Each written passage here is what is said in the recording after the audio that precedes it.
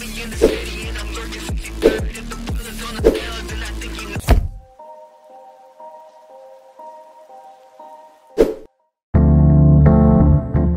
dobry. Mamy 5 listopada, godzinę 3.44. Lecę na swoje cardio poranne. Dzisiaj waga pokazała 103 i 3 kg. Zaraz będę wysyłał raport do Lukiego, ale to jak wrócę. Nie mogłem coś dzisiaj spać w ogóle, powiem Wam. Cały czas się budziłem przez to sikanie. bo Jednak nawadniam więc 10 litrów wody leci i sikam jak szalony i strasznie mi to sen rozwaliło ale jestem cholernie zmęczony przez to, że nie spałem więc jak tylko wrócę wyślę raport to robię pozowanie ogarnę się ze wszystkim zjem pierwszy posiłek i idę spać dalej dzisiaj wczoraj przyszły mi majtki startowe które zamówiłem ze Stanów.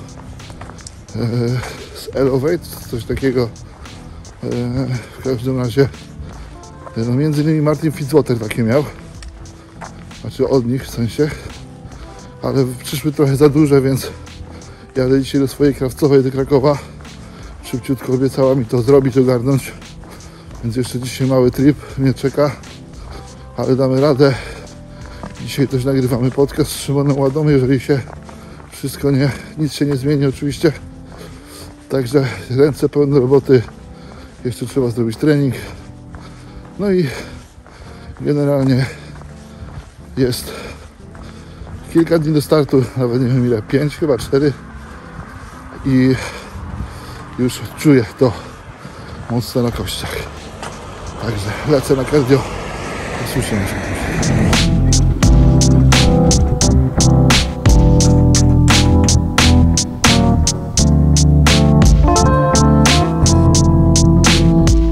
Słuchajcie, witam Was w śniadanku. Jest tutaj klasycznie 40 g klejku ryżowego, 150 g truskawek, 30 g izolatu, 200 ml białek jaj, szpinak, sosy, jeden bajgiel, e, pomidor, dwa plastry sera proteinowego. Ale to ja nie o tym. Zrobiłem sobie dzisiaj chocolate fudge. Nie, fudge brownie to się nazywa, przepraszam ponieważ wjechały Dynamizy na gymshop.pl. Pamiętajcie, że z kodem Olszewski macie taniej. Nie wiem, czy do czasu, kiedy wypuszczę ten materiał, one jeszcze będą, bo schodzą jak świeże buły. Niestety to jest ciężko chodliwy towar, ale tak tylko mówię, że możecie na kod Olszewski sobie zakupić i zapraszam serdecznie. Wysłałem raport do Lukiego, także czekamy, co tam Luki powie ciekawego. Tak wyglądałem na rano. Tutaj możecie sobie zobaczyć zdjęcia. Nie robiłem dzisiaj filmu, bo, bo generalnie w świetle mojej kuchni te filmy e, i tak samo zdjęcia zresztą i tak nie oddają tego, jak to wygląda, więc to jest bez sensu. Zresztą Luki zawsze mówi, dodawanie tych zdjęć e, gdzieś to nie jest najlepszy pomysł, bo one nie są nigdy dobre, ale no, pokażę Wam jak to wygląda, żebyście mieli pojęcie co i jak i zabieram się za jedzonko. Jak tylko będę wiedział, czy coś zmieniamy, to dam Wam znać, ale wydaje mi się, że nie ma co kombinować, bo jest naprawdę dobrze. Dobrze, słuchajcie, zmiany od Lukiego przyszły i Luki zarządził ładowanie dzisiaj i jutro. 500 chyba 40 gramów węglowodanów, to jeszcze Wam podsumuję na wieczór E, bo w czwartek będę miał dzień niski. To czwartek jest dzień lotu, lotu więc niski dzień. Także mam tutaj 250 gramów pieść z kurczaka, 100 gramów brokuła jak zawsze i do tego 100 gramów klejku ryżowego. Tak, siadam, zjadam. Dobrze, słuchajcie, wróciłem właśnie z Krakowa, jest godzina 13.15, także pasuje zjeść. Jest tutaj 100 gramów klejku ryżowego, 100 gramów banana, e, 60 gramów izolatu i tym razem 20 gramów masła macadamia, także jest naprawdę grubo. Do tego oczywiście 400 mik- mikrogramów L-karnityny iniekcyjnej, ale bez GH. Odstawiamy GH już całkowicie, także e, na ten moment to jest chyba największa zmiana ze wszystkich. No i lecimy dalej. Zaraz po tym posiłku za jakieś półtora godzinki widzimy się na treningu pleców. Oczywiście nie będę nagrywał, bo chcę się skupić na treningu, ale postaram się e, później coś może opowiedzieć, ewentualnie pokażę Wam po prostu posiłek potreningowy. Szykuję się właśnie na trening, robię swojego intra w którym będzie e, 10 gramów glutaminy EAA kolagen kreatyna. Także postanowiłem, że Wam to pokażę bo cały czas leci taki shake oczywiście od dłuższego czasu już w trakcie w treningu nie lecą węglowodany mimo tego, że mamy dzisiaj ładowanie to wciąż nie lecą. Nie ma to jak nowy suplement. Zawsze to cieszy. E, ale kreatynę używam cały czas, glutaminę używam cały czas. No i generalnie wszystko wszystko to co jest podstawowe używam cały czas, nawet do samych zawodów. Tak samo tauryna. Cały czas używana u mnie. To się nie zmienia całorocznie. Ja staram się te 10 gramów tauryny dziennie całorocznie dostarczać. Zazwyczaj dzielę to na 5 gramów e, w szejku intra i 5 gramów w tym szejku porannym. Dzięki temu sobie tak robię, że e, mam, mam te 10 gramów. E, a w dzień nietreningowy po prostu robię tak, że daję 5 gramów rano i 5 wieczorem, tak samo z glutaminą 10 rano, 10 wieczorem w nietreningowy, a w normalny glutaminkę daję po prostu 10 z rana, 10 intra. No i to jest w zasadzie wszystko. To jest to. Do tego 30 gramów EAA, EAA to już muszę odmierzyć, to, to ma kalorii trochę. Jakby nie patrzeć, EAA to jest białko. No i cóż, powiem Wam, że od jutra nie robię cardio i tak dziwnie się trochę z tym czuję, bo normalnie wstaję teraz bardzo wcześnie, w granicach 3.30, 4. No i moja rutyna to było chodzonko. Eee, po prostu miałem taką już trasę swoją ustaloną i to było takie jakieś takie moje, moje moja daily rutyna. Odkąd zepsuła mi się bieżnia i dalej panowie się nie odezwali od, od serwisu, także będę musiał się do niego odzywać, ale już po zawodach, bo ja z moim szczęściem to jak się do niego odezwę, to postanowią przyjechać w dzień, w którym będziemy wyjeżdżać, więc, więc to już sensu nie ma, e, ale, ale tą bieżnię oczywiście będę musiał naprawić, no bo no bo gdzie zima, to też nie będę popierdzielał w zimie po śniegu. Także pasuje bieżnie mieć. A, mm, no i cóż, no i tak, no i dziwnie będzie jutro rano wstać i nie zrobić tego cardio. No ale trzeba. E, dzisiaj mam dzień wysoki, 520 gramów węgli, 300 gramów białka, 10 gramów tłuszczy. Jutro jest dokładnie taki sam i ostatni dzień taki treningowy, normalny można powiedzieć. Oczywiście dzisiaj robię plecy, ale nie robię oczywiście żadnych ciężkich już ciągów, takich rzeczy. To odpuszczam wszystko na maszynach, e, dorzucę sobie tył barku. Jutro zrobię push, czyli bok barku, klatkę, triceps. Dzisiaj zrobię jeszcze biceps do tego. Dzisiaj zrobię brzuch, jutro zrobię łydki. E, no i w czwartek Mamy dzień wylotu, więc mam e, też ładowanie, ale tłuszczami takimi bardziej. Mam 90 gramów tłuszczy, 200 gramów węgli i 300 gramów białka. No i w piątek wszystko się okaże, co robimy od rana, e, bo muszę się zmieścić, pamiętajcie, w limit. A dzisiaj miałem 103 kg na rano, także plan jest taki, żeby po prostu tą wagę skruzować. Są też ściągnięty był ten hormon, no bo on trzymał mnie dosyć mocno tą pełność, a no nie możemy sobie pozwolić na to, żeby się okazało, że, że się nie wyrobię z limitem, także Także tak, także wolimy załadować po prostu delikatniej, ale dłużej niż hardkorowo, ale wiecie, w krótkim odstępie. Także taki jest plan. Zabieram się na siłkę, to jak teraz wypiję tą, ten baniak, to będzie 9 litrów już na dzisiaj. Powiem Wam, że dzisiaj akurat mi woda wchodzi fajnie, wczoraj to była tragedia, naprawdę. Już pod, po wieczorem, mimo tego, że wczoraj nie miałem dużo jedzenia, to myślałem, że nie dojem tej kolacji, bo, bo po prostu miałem tak pełny brzuch od wody. Stąd też się budziłem całą noc, sikałem, nic przyjemnego. Także zbieram się na trening, słyszymy się w potreningowym. Statystyki podpowiadają mi, że duża część osób oglądających ten kanał wciąż go nie subskrybuje. Dlatego jeżeli należysz do tego grona, zasubskrybuj już teraz oraz wpadaj na naszego Discorda. Link znajdziesz w opisie tego filmu. Zapraszam Cię również do wspierania ruchu Zapierdalać Trzeba poprzez zakupywanie merchu oraz szerowanie, udostępnianie i lajkowanie. Wielkie dzięki i wracamy do materiału. Dobra, słuchajcie, jestem trochę w dupę z czasem, więc jeden bagiel, 150 gramów piersi z kurczaka, 30 izolatu, 50 klejku ryżowego, 300 owoców, no i to w zasadzie tyle. Oczywiście moje sosy i pomidorek. Także zabieram się za jedzenie. Posiłek numer 4 chyba, dokładnie. Jeszcze mam dwa posiłki oprócz tego, więc trzeba gonić.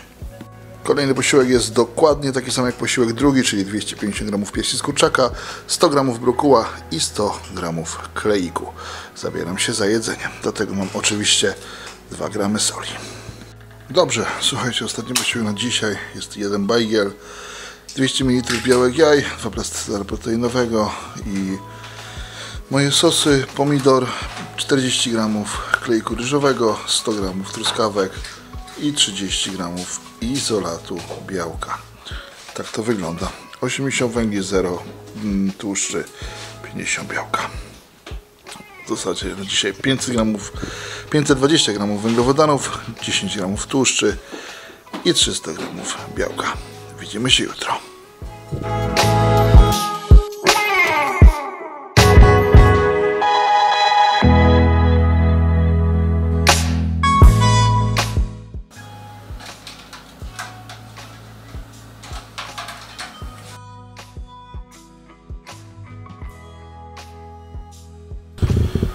Dzień dobry YouTube, słuchajcie, witam Was w moim śniadaniu. Mamy tutaj oczywiście 50 gramów klejku, 40 gramów klejku, 150 gramów truskawek, 30 gramów izolatu, jeden bagiel, 200 ml białych jaj, to co miałem dokładnie wczoraj, także nie będę Wam bił piany. E, Dzisiaj Luki po tym, jak zobaczył na Insta Stories, że spadła mi dosyć mocno waga, bo wczoraj miałem, pamiętacie, 103,3, dzisiaj już 101,6 kazał dodać mi po 20 węglowodanów do przerwy potreningowego. Także dzisiaj zamiast 520 węglowodanów mamy 560 gramów węglowodanów, 300 białka, 10 tłuszczy. E, No i dzisiaj zaczynamy dzień. Jesteśmy na 3 dni przed zawodami. Słuchajcie, nie mogę w to uwierzyć. 3 dni przed zawodami. E, Muszę się muszę dzisiaj ogarnąć ze wszystkim. Ja jeszcze dzisiaj muszę znowu jechać do Krakowa, odebrać spodenki startowe. E, Muszę się ogarnąć ze wszystkim spakować dzisiaj. E, dzisiaj muszę jeszcze zrobić trening, dzisiaj jeszcze muszę dużo rzeczy dzisiaj mam, włącznie z fryzjerem i tak dalej, z barberem, więc e, nie przedłużając zabieram się za jedzenie, a my się słyszymy później. Jadę właśnie do Krakowa odebrać spodenki startowe, które przerabia mi moja krawcowa. Zamówiłem sobie spodenki startowe, e, takie jak ma Martin Fitzwater, bo jestem kulturysta i postanowiłem, że jak zdobywać kartę, to w e, spodenkach startowych takich jak e, Twój idol, więc e, a tak poważnie mówiąc po prostu są bardzo fajne, więc mam nadzieję, że ogarnie mi to bardzo fajnie. Wczoraj już byłem je zawieźć, dzisiaj znowu jadę do Krakowa je odebrać, także jest to trip. Ale tak sobie pomyślałem, bo w związku z tym, że tak właśnie jeżdżę i odbieram, zawożę i tak dalej, cały czas generalnie coś robię, a dużo osób ma problem z tym na redukcji, żeby zachować e, swoje standardy dietetyczne, żeby tak powiedzieć politycznie poprawnie, żeby nie wpierdalać, mówiąc wprost. Co robić? Jednym z takich metod jest właśnie zajmowanie sobie głowy. Ja nie mówię, że jestem głodny teraz, bo dzisiaj mam akurat ładowanie, więc to nie jest dla mnie problem, ale ogólnie przez redukcję zawsze staram się zajmować się czymś. Czyli nie siedzieć na tyłku, nie robić nic, jak to niektórzy robią, bo tego typu zachowania właśnie powodują, że człowiek je z nudów bardziej niż z potrzeby bo też pamiętajmy o tym, że na redukcji tak naprawdę, nawet w przygotowaniach do zawodów, my nie jesteśmy głodni. Głodni, jak to ktoś kiedyś powiedział, głodni są dzieci w Afryce.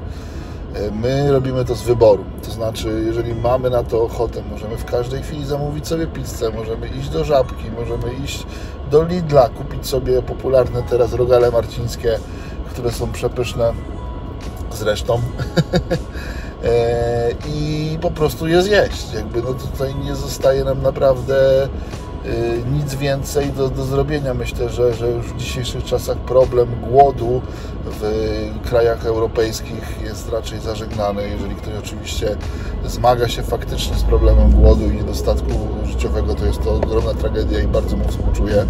E, I oczywiście takie przypadki również są. Natomiast no, jeżeli ktoś mówi o wybieraniu z własnego wyboru jedzenia po prostu przez pewien okres mniejszej ilości energii niż jest mu potrzebna do tego, żeby chodzić ucieszonym przez cały dzień, to naprawdę nie jest to powód do tego, żeby się żalić i jakoś tam tragicznie zachowywać. Także to jest taka uwaga dla mnie, a patentem na to, żeby właśnie sobie z pomóc jest zajmowanie sobie głowy. Więc jeżeli macie taką możliwość, szukajcie sobie po prostu rzeczy różnego rodzaju do zrobienia. Jeżeli mieliście jakieś zaległości w okresach masowych, zrobieniem różnego rodzaju porządek w szafkach, nie wiem, sprzątaniem jesiennym i tak dalej, to może jest to dobry czas na to, żeby właśnie teraz wykorzystać ten czas, spalić trochę ekstra dodatkowych kalorii, zająć sobie czymś głowę e, i piec dwie pieczenie na jednym ogniu, jak to się mówi. Także tyle ode mnie, króciutki rant, bo, bo tak sobie pomyślałem, że właśnie e, skoro i tak już jadę,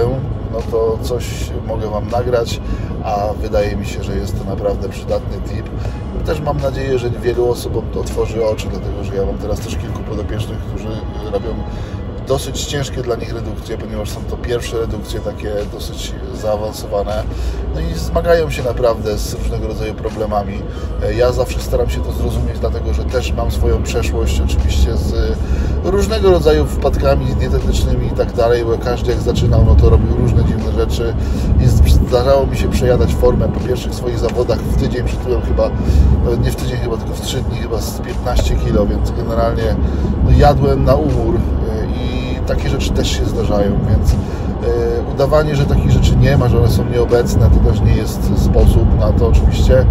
Oczywiście to jest kanał kulturystyczny, więc no ja o tym mało mówię, bo jestem już w takiej pozycji swojej przygody kulturystycznej, że po prostu mnie takie rzeczy się nie zdarzają, ale to też, tak jak mówię, było wypracowane. To nie jest tak, że każdy się z tym rodzi, że ja jestem jakiś super, mega, bo to czasem mam wrażenie, że tak wygląda. In 500 meters at the roundabout, take the second exit. Sorry. No, że tak wygląda jakbym ja był, wiecie, wolny od, od wad, bo jestem po prostu odporny super psychicznie czy coś takiego. To jest po prostu kwestia konsekwencji i etyki pracy, która została wypracowana. Także musicie sobie na to po prostu zapracować, a pracuje się na to po prostu konsekwentnie trzymając plan. Także tak. Dobrze, słuchajcie, w tle tam sobie śmiga mm, wiatrak, bo robimy... A się właśnie wyłącza, dobra bo robimy na jutro jedzenie. E, generalnie chciałbym dzisiaj zmontować Wam ten materiał, żebyście mieli e, te 4-3 dni out mm, materiał, a już ostatni materiał będzie z Rumunii, będzie z zawodów, także dlatego też kończymy na dzisiaj. Dzisiaj jedyna zmiana, nie wiem czy o tym mówiłem, bo już wiecie, trochę brain fog, za tym dużo się dzisiaj działo i miałem dużo rzeczy do załatwienia, więc nie pamiętam czy mówiłem, ale Luki na cały dzień dołożył mi dzisiaj 40 gramów węglowodanów, czyli 20 przy posiłku przedtreningowym, 20 potreningowym, więc było 300 węgli, 500, 300 białka, 560 węgli i 10 gramów tłuszczy na cały dzień. Jutro mamy dzień nietreningowy, no to sobie zobaczycie już po prostu w kolejnym materiale, także nie będę się tutaj rozpisywał. Jutro większość dnia spędzimy w samolotach lub w samochodach, więc y, jest to taki dzień, w którym teoretycznie odpoczywamy, a w praktyce będziemy dźwigać walizki po całym lotnisku i po połowie Rumunii. Więc tak to wygląda na jutro, ale no takie są też uroki właśnie startowania za granicą, że no jednak trzeba być gotowym na to, że, e, że trzeba będzie troszkę e, popierdzielać z tymi, z tymi klamotami. No ale mamy wynajęty samochód, także z lotniska wsadzimy sobie graty już i podjedziemy pod samo mieszkanie. Miejmy nadzieję. Jutro trzeba zrobić jeszcze tam na miejscu zakupy, żebyśmy mieli wszystko e, przygotowane na kolejne dni. Pamiętajcie o tym też, że oprócz tego, że ja startuję w sobotę, no to jeszcze Sylwia startuje w niedzielę, więc mamy piątek oboje, że tak powiem, weryfikacje, przy czym weryfikacja dla zawodników amatorów jest troszeczkę bardziej yy, taka techniczna, czyli po prostu ważenie yy, i tam papierologia zawodnicy pro troszeczkę bardziej mają to zaawansowane, bo jest to jakiś tam meeting, często sędziowie z nimi rozmawiają, mówią co i jak i tak dalej, więc czasem nawet są jakieś, jak widzieliście na materiałach, wywiady z takie drobne, kilka pytań zadają każdemu zawodnikowi, więc to troszeczkę trwa dłużej. Natomiast ja mam między godziną 12 a 14.30 weryfikację, a Sylwia ma weryfikację dopiero w zasadzie pro meeting dopiero o godzinie 5, więc jakby to jest troszkę tak rozwleczone w czasie. Gdzieś tam jeszcze po, pomiędzy tym wszystkim musimy znaleźć się na siłowni, więc też musimy to jakoś zgrać. Ale to jeszcze raz. Ja też mam pytanik. Ja nie wiem, czy będę robił pytanik. Ja chyba zrobię po prostu tanik w sobotę. Także zobaczymy, jak to będzie wyglądać, ale jeżeli będę robił pytanik, to jeszcze w piątek Sylwia mówi, że mam pytanik. Także zobaczymy. Powiem Wam szczerze, że już ten pretaning robiłem kiedyś i nie zauważyłem żadnej różnicy między robieniem pretaningu a taningu tego samego dnia, więc szczerze mówiąc nie wiem, czy jest sens brudzić stałą pościel i tak dalej, ale też wszystko zależy od tego, jak organizator sobie życzy, więc czasem może po prostu nie być czasu na to, żeby dzień startu robić tyle warstw, więc okaże się. Jeżeli ktoś dotarł do tego momentu, to bardzo serdecznie Wam dziękuję. Zachęcam oczywiście do subskrybowania, komentowania, udostępniania, lajkowania i szerowania kanału dalej. Zachęcam do korzystania z moich kodów olszewskich na stronie propeptydy oraz na stronie gymshop.pl oraz jeżeli ktoś chciałby wesprzeć nasz ruch Zapierdalać Trzeba, to do zakupowania merchu na sklepie Zapierdalać Trzeba. Linki oczywiście znajdziecie na dole w opisie tego filmu. Zapraszam Was również do naszej grupy Discordowej, no i generalnie do tego, żeby śledzić dalej kanał. Dzięki wielkie i do usłyszenia w kolejnym materiale.